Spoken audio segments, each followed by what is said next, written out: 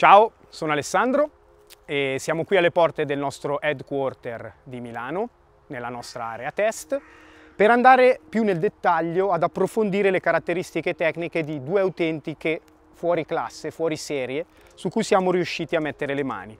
Stiamo parlando della Villier 0 SLR e della Villier Filante SLR in dote altimastana la scorsa stagione. Le abbiamo ricondizionate cuscinetto dopo cuscinetto per voi, ma Ora dobbiamo andare a vedere cosa le rende uniche, cosa le rende distintive, cosa le rende delle bici da sogno.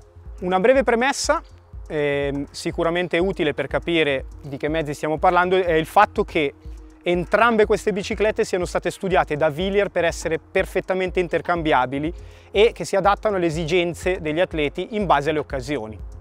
Altra caratteristica che le accomuna e le rende vincenti è sicuramente eh, la colorazione del telaio. È una colorazione cangiante che balza subito all'occhio, dove abbiamo anche la trama, la tramatura con la labarda, che va a renderle veramente, veramente tra le più apprezzate del World Tour. Partiamo dalla miraglia del team, la 0 SLR. 0. Perché 0? Perché è veramente un peso piuma.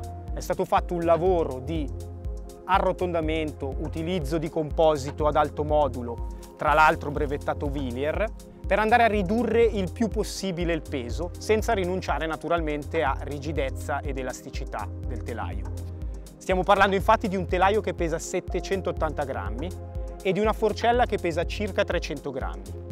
Cosa differenzia zero da filante? Sicuramente il carro. Abbiamo un carro con dei foderini minimali da una linea veramente sinuosa che vanno ad installarsi poco sotto il reggisella Parlando invece della filante SLR, quindi il modello più aero di Villier, andiamo subito a notare una particolarità. Anzitutto il peso, 870 grammi, quindi poco più di un etto rispetto alla sorella maggiore, 0. Perché questo peso? Perché c'è il design asimmetrico del telaio e noi l'abbiamo definito asimmetrico. In cosa consiste? Sono soluzioni tecniche che Villier ha applicato nel fodero lato freno, lato disco, ok? E anche nel fodero del carro lato guarnitura. Questo perché l'adozione di maggiore composito, quindi di maggiore materiale, è stata adottata dove ci sono le maggiori aree di stress.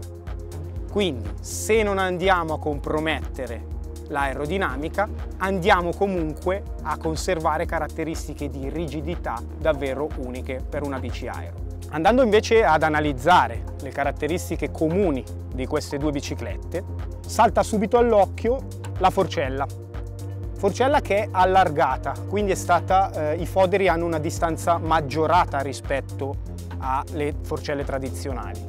Questo porta a due vantaggi. Uno, l'adozione di uno pneumatico più largo, in questo caso per esempio abbiamo un 700x28, che assicura ai ciclisti moderni, sia ai professionisti che agli amatori, una maggiore impronta su strada e quindi maggiore comfort e performance di guida, anche in caso di tornanti veramente tosti, ma soprattutto permette una canalizzazione dell'aria all'interno senza andare a incidere direttamente sul, eh, sul ciclista, su di noi.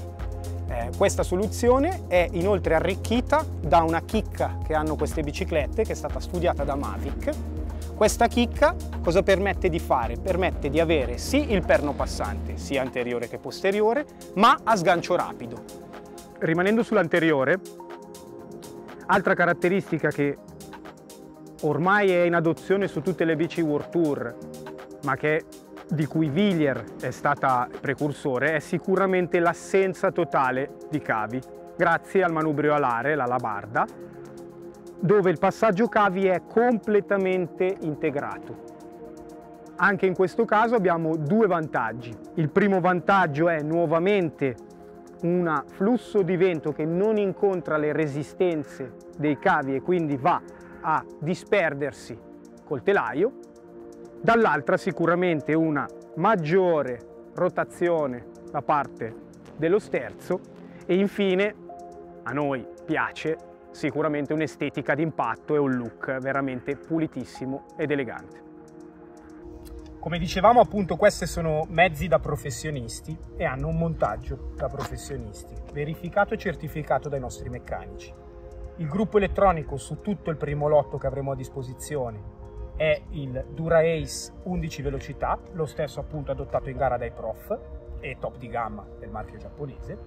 Le ruote eh, varieranno, ma leggermente, tra tubolari, ci sarà qualche ruota tubolare, qualche configurazione invece clincher, ma avranno tutte il profilo eh, da 40, quindi anche in questo caso versatili sia per velocità e scalate ma anche eh, aerodinamiche.